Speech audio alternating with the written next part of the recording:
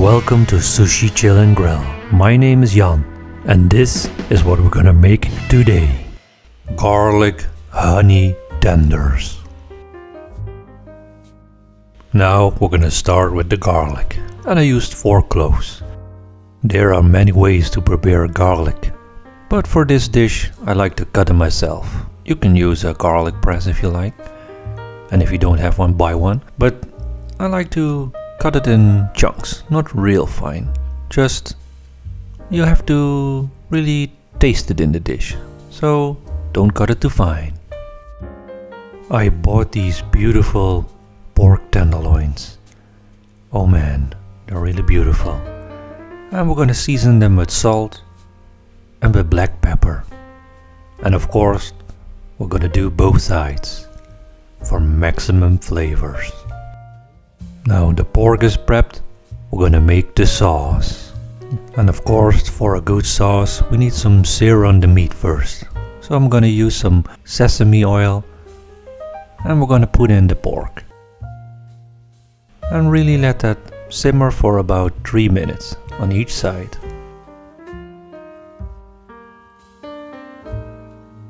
We're gonna take the pork tenderloins out and we're gonna deglaze the pan or the instant pot with some water. And really scrape down the bottom of all that goodiness. Also gonna add some ginger paste. Just one tablespoon, that should be enough. And some honey. And I mean a lot of honey. I think I squeezed about 10 times, so it's about half a cup I think. Some soy sauce.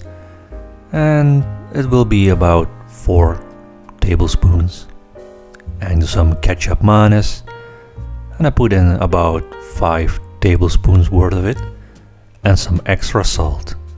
Now mix it all together. Now we're going to put in some garlic. We're going to simmer this for a bit and really mix it together. And when the simmering is done, we're going to put in our tenders and really let that become tender. It's ready to be pressurized. Now put the lid on. Put it on pressure cook on high for about 7 to 8 minutes. These pork tenderloins don't have to be pressured too much. Now look at that. Beautiful tenders. Oh man, they're still so juicy. We're gonna cut them into pieces. It's beautiful for the plating. Now they're ready, let's plate. First our garlic honey tenders. Now some broccoli. And some delicious rosemary potatoes. Now look at that. Now some garlic honey sauce. Don't do too much. Okay, one more tablespoon then. But hey, make it how you like it. And there you go, garlic honey tenders. Thank you for watching. I hope you liked the dish. Give it a like, leave me a comment. You know I read my comments, and I like those. And as always, see you next time. You can also find me on Instagram, Sushi Chill and Grill. See you there.